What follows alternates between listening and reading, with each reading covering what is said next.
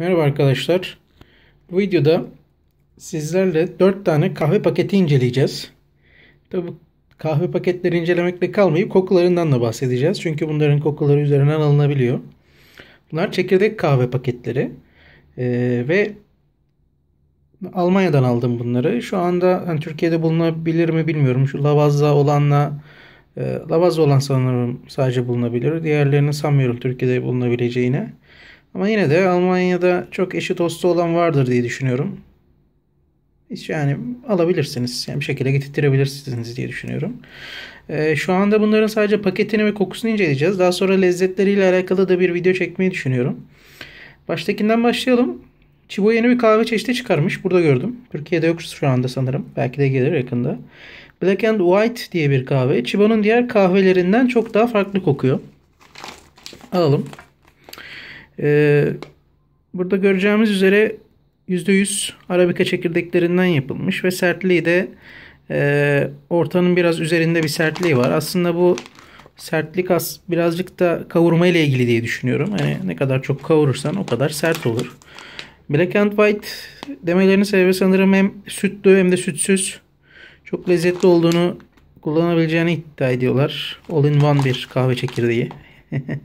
Ee, yan tarafında otomatik makineler için veya fark etmez normal makinelerde de kullanabilirsiniz. French press ve e, filtre kahve makineleri için kullanabileceğine ilişkin işaret var. Zaten koymasan ne yazar? Sen çekirdeksin. İstediğim gibi öğütürüm. istediğim yerde kullanırım yani. Bu da tabii ayrı bir şey. Bunun fiyatı burada ne kadar? E, 4,5 euro. Türkiye'de bu geldiği zaman muhtemelen 21 lira civarında olacak. Nispeten Türkiye'den ucuz. Yaklaşık 13-14 TL'ye geliyor. E, bunu fiyatı için almadım. Bunu Türkiye'de olmadığı için aldım. Tadına bakacağım. E, burada bunu da sonradan fark ettim. Şurada bilmiyorum. Bakayım videoda gözükecek mi? Delikler var. Çekirdek kahve paketlerinin üzerine bu deliklerden oluyor. Böyle biraz kahveyi sallayıp şöyle şuradan sıktığınız zaman direkt buradan hava şeklinde içerisindeki bütün kokuyu sizin burnunuza yansıtıyor. Bunun kokusu iyi. Chibo'nun diğer kahveleri gibi kötü gelmedi bana. Yani Chibo'nun diğer kahveleri de güzeldir de bana kötü geliyor açıkçası öyle söyleyeyim yani. Bu bayağı iyi geldi bana. Yani böyle kaliteli kahvelerden çok farkı yok gibi. Böyle yatıralım buraya kuzuyu. Bunu alalım. Bu bir Alman markası sanırım. Çünkü üzerine hiç İngilizce bir şey bulamadım. İnternette de baktım. Alman markası yani. Almanya'da üretiliyor herhalde. Ve e, bunun üzerinde şöyle bir şey yazıyor. Gördüğünüz gibi gurmet kafe diye yazıyor. Bunun aldığım yerde kafe krem olanları vesaire de vardı. Bunun üzerine ne sertlik ne işte robusta çekirdeği mi? İta, Af söyleyemiyorum. Afrika çekirdeği mi olduğu yazmıyor. Bilmiyorum ne olduğunu. Ama ve lakin orada yaklaşık 15-20 çeşit kahve var. Böyle kiloluk, yarım kiloluk paketlerde satılıyor. Hepsini böyle sıktım sıktım kokladım abi. Bak bunun da burada deliği var. Bunun kokusu bana hepsinden lezzetli geldi. Tadını bilmiyorum ama gerçekten güzel bir e, kokusu var. Birazcık daha yoğun diğerlerinden. Muhtemelen şuradaki sertlik yok bunda ama herhalde bu en sert kahve filandır bilmiyorum. Çünkü kokusu çok keskin ve gerçekten aroması harika. Ben bu kahveleri kokladığım zaman midemde direkt bir etkisi oluşuyor. Böyle bazı kahveleri kokladığımda direkt midem bulanıyor böyle. Bunların hiçbirinde olmuyor. Yani mideme tesir ediyor. Nasıl oluyorsa bilmiyorum. Bu da Lavaza'nın bir kahvesi. Bu kahve bana bir sürpriz yaptı. Yani artık benim salaklığım galiba tam emin değilim ama. Lavaza'nın orada bir sürü kahvesi vardı. E, çeşit olarak. Ben yine hepsini kokladım. Koku olarak en güzeli bu geldi. Hala şu an buradan bastırıyorum. O kadar mükemmel bir koku geliyor ki bana buradan. Bunu aldım. Ama sonra bir baktım şurada dekafeinato yazıyor. Ulan dekafein, def var, kafeinato var. Kafeinsiz mi la bu dedim. İnternete bir baktım. Aa kafeinsizmiş. Neyse kafeinsiz de bir kahve çekirdeğimiz oldu. Üzüldüm açıkçası. Kafeinsiz istemiyordum çünkü ben. E, bu e, %40 Robusta %60 Arabika çekirdeklerinden üretilmiş. Yani bir algı var genelde hani Robusta çekirdeği olunca adi hani böyle kötü bir çekirdekmiş gibi algılanır ama dünyanın en iyi kahve üreticilerinden bir tanesi. Oradaki en pahalı kahvesinde bundan daha fazla Robusta çekirdeği kullanmış. Zaten e, sadece e, Arabika çekirdekleri kullanılanlarda genelde hani Arabika çekirdeği kullanılmış ve orta sertlikte olan yani kavrulması herhalde o sertliğini belirliyor olanlar genelde kafe krem olarak satılıyor. Bu kafe krem değil. Birazcık çünkü içinde Gördüğünüz gibi Robusta çekirdeği var. Bu birazcık sert. Burada yazıyor. Ya bir tane de kafeinsiz olsun. Belki gece vakti böyle uyku uyku basmışken kahve içesimiz gelir falan. Çünkü bunun kokusu hepsinden yoğun ve güzel. Lavazadaki. Ya bilmiyorum lezzetini ama e, o standart lavazza kokusu var ama daha yoğun var. Yani hoşuma gitti bilmiyorum. Yarın inşallah güzeldir. Kafeinsiz de bir alternatif olsun elimizde. Ya bunlarda kimyasal işlemler kullanılıyor diye düşünüyorum kafeinini arıtırken ama internette baktım ısrarla vurgulamışlar. Herhangi bir kimyasal yöntem kullanmadan arıtılmıştır. Üstün teknolojide falan diyor. Hadi bakalım hayırlısı. Şimdi burada Burada gördüğünüz gibi her türlü yap beni diyor. Zaten bunu niye koyuyorlar arkadaşım ya? Sen çekirdeksin. İstediğim gibi öğütürüm. istediğim gibi yaparım ya. Bu da değişik bir şey bunlar ya.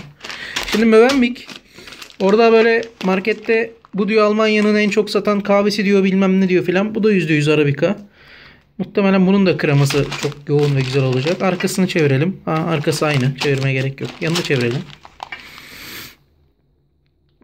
Yanında ne var? Bir şeyler yazıyor Almanca. Anlamıyorum. Böyle çevireyim.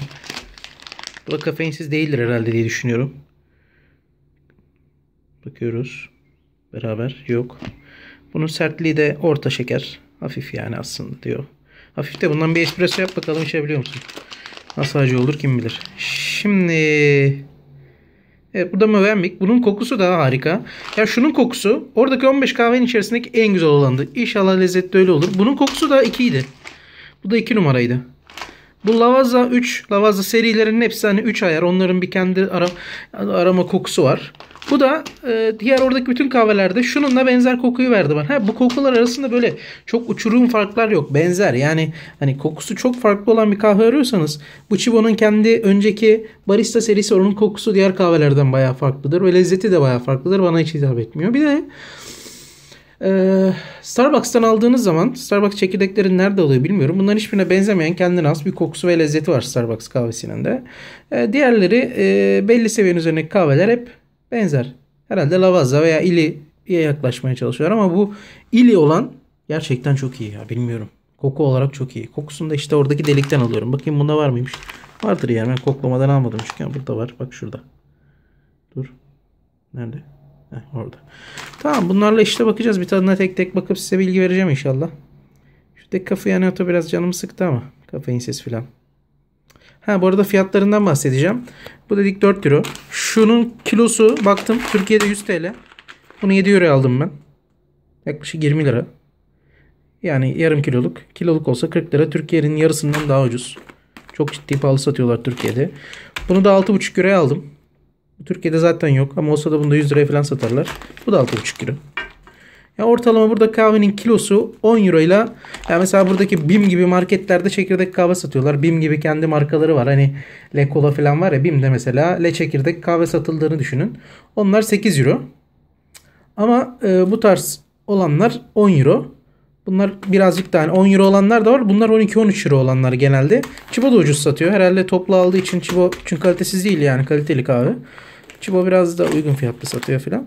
Buradaki favorim bu gözüküyor. Tadına bakınca da öyle bir video çekeriz. Bakalım kokudan doğru mu haklı çıkacağım mı bilmiyorum. Şuna canım sıkıldı. Belki satarım onu ya.